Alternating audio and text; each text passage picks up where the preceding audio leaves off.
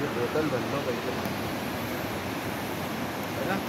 हाँ सही क्या कहते हो एक्टिवा